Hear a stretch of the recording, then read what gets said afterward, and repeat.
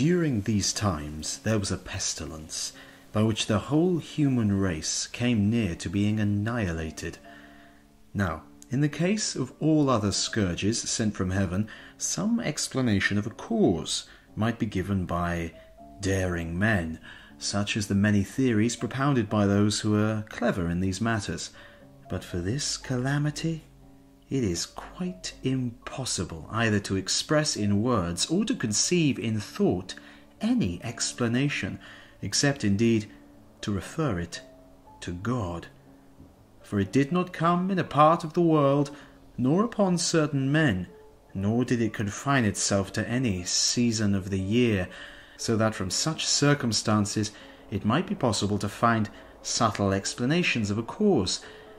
But it embraced the entire world, and blighted the lives of all men, though differing from one another in the most marked degree, respecting neither sex nor age. For, much as men differ with regard to places in which they live, or in the law of their daily life, or in natural bent, or in active pursuits, or in whatever else man differs from man, in the case of this disease alone, the difference availed naught, and it attacked some in the summer season, others in the winter, and still others at the other times of the year. Now let each one express his own judgment concerning the matter, both sophist and astrologer. But as for me, I shall proceed to tell where this disease originated and the manner in which it destroyed men.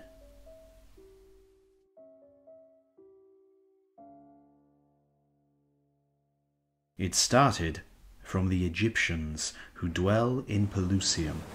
Then it divided and moved in one direction towards Alexandria and the rest of Egypt, and in the other direction it came to Palestine on the borders of Egypt, and from there it spread over the whole world, always moving forward and travelling at times favourable to it, for it seemed to move by fixed arrangement and to tarry for a specified time in each country, casting its blight slightingly upon none, but spreading in either direction right out to the ends of the world, as if fearing lest some corner of the earth might escape it. For it left neither island, nor cave, nor mountain ridge which had human inhabitants, and if it passed by any land, either not affecting the men there or touching them in indifferent fashion. Still, at a later time, it came back. Then those who dwelt round about this land, whom formerly it had affected most sorely, it did not touch at all, but it did not remove from the place in question until it had given up its just and proper tale of dead so as to correspond exactly to the number destroyed at the earlier time among those who dwelt round about. And this disease always took its start from the coast, and from there went up to the interior. And in the second year it reached Byzantium in the middle of spring, where it happened that I was staying at the time. And it came as follows.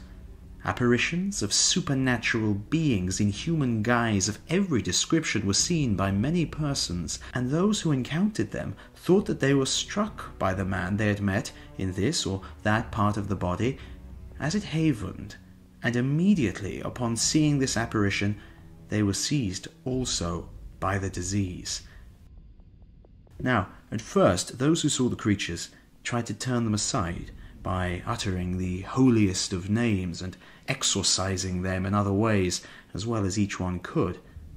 But they accomplished absolutely nothing.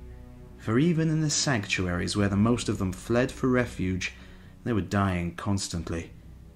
But later on, they were unwilling even to give heed to their friends when they called to them, and they shut themselves up in their rooms and pretended that they did not hear although their doors were being beaten down, fearing, obviously, that he who was calling was one of those demons.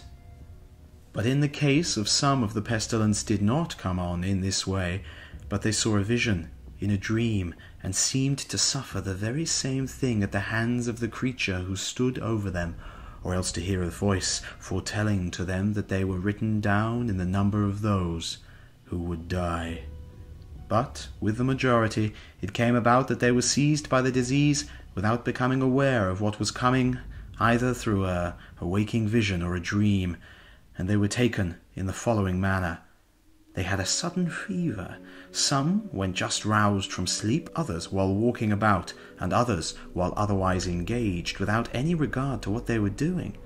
And the body showed no change from its previous colour, nor was it hot, as might be expected when attacked by a fever, nor indeed did any inflammation set in. But the fever was of such a languid sort from its commencement and up till evening that neither to the sick themselves nor to a physician who touched them would it afford any suspicion of danger. It was natural, therefore, that not one of those who had contracted the disease expected to die from it.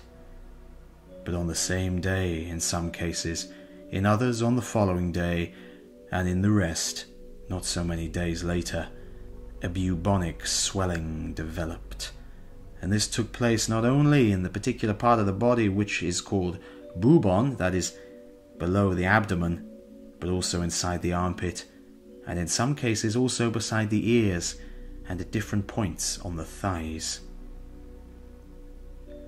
Up to this point, then, everything went in about the same way with all who had taken the disease. But from then on, very marked differences developed, and I am unable to say whether the cause of this diversity of symptoms was to be found in the differences in bodies or in the fact that it followed the wish of Him who brought the disease into the world. For there ensued with some uh, a deep coma, with others a violent delirium. In either case, they suffered the characteristic symptoms of the disease. For those who were under the spell of the coma forgot all those who were familiar to them and seemed to lie sleeping constantly. And if anyone cared for them, they would eat without waking, but some also were neglected, and these would die directly through lack of sustenance. But those who were seized with delirium suffered from insomnia and were victims of a distorted imagination, for they suspected that men were coming upon them to destroy them, and they would become excited and rush off in a flight, crying out at the top of their voices. And when water chanced to be near, they wished to fall into it, not so much because of a desire for drink, for the most of them rushed into the sea, but the cause was to be found chiefly in the diseased state of their minds. And in those cases where neither coma nor delirium came on, the bubonic swelling became mortified, and the sufferer, no longer able to endure the pain, died. And one would suppose that in all cases the same thing would have been true, but since they were not at all in their senses, some were quite unable to feel the pain, for owing to the troubled condition of their minds, they lost all sense of feeling. Now, the disease in Byzantium ran a course of four months, and its greatest virulence lasted about three, and at first the deaths were a little more than the normal, then the mortality rose still higher, and afterwards the tale of dead reached five thousand each day, and again it came to 10,000 and still more than that. Now, in the beginning, each man attended to the burial of the dead of his own house, and these they threw even into the tombs of others, either escaping detection or using violence. But afterwards, confusion and disorder everywhere became complete. For slaves remained destitute of masters, and men who in former times were very prosperous were deprived of the service of their domestics, who were either sick or dead, and many houses became completely destitute of human inhabitants. For this reason, it came about that some of the notable men of the city, because of the universal destitution, remained unburied for many days. And it fell to the lot of the emperor, as was natural, to make provision for the trouble. He therefore detailed soldiers from the palace and distributed money, commanding Theodorus to take charge of this work. This man held the position of announcer of imperial messages, always announcing to the emperor the petitions of his clients and declaring to them in turn whatever his wish was. In the Latin tongue, the Romans designate this office by the term referendarius. So those who had not as yet fallen into complete destitution in their domestic affairs attended individually to the burial of those connected with them. But Theodorus, by giving out the emperor's money and by making further expenditures from his own purse, kept burying the bodies which were not cared for. And when it came about that all the tombs which had existed previously were filled with the dead, then they dug up all the places about the city, one after the other, laid the dead there, each one as he could, and departed. But later on, those who were making the trenches, no longer able to keep up with the number of the dying, mounted the towers of the fortifications in Sycae, and tearing off the roofs, threw the bodies there in complete disorder, and they piled them up just as each one happened to fall, and filled practically all the towers with corpses, and then covered them up again with their roofs. As a result of this, an evil stench pervaded the city and distressed the inhabitants still more, and especially whenever the wind blew fresh from that quarter.